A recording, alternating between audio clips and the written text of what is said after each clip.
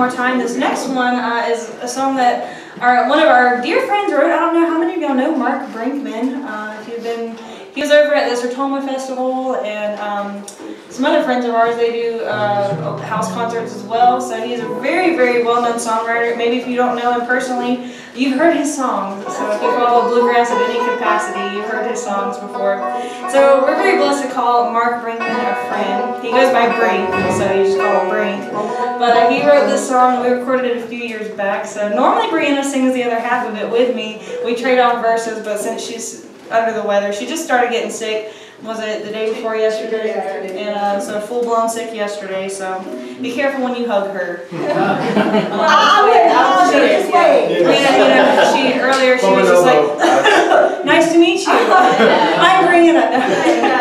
No, she, didn't- she didn't do that. She's been very, very careful. Um, so I was just just warning you. That's why I'm gonna sing the whole song. But uh, this is one that we love. It's one called "Give God the Power."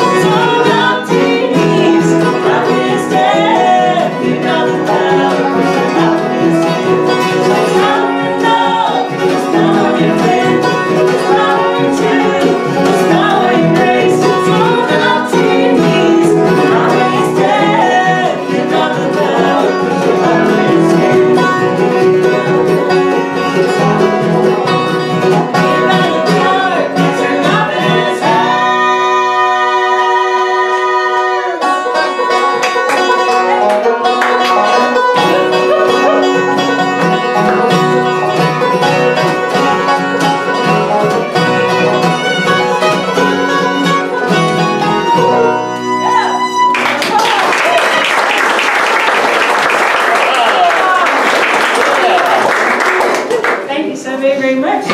We're gonna um, switch up again.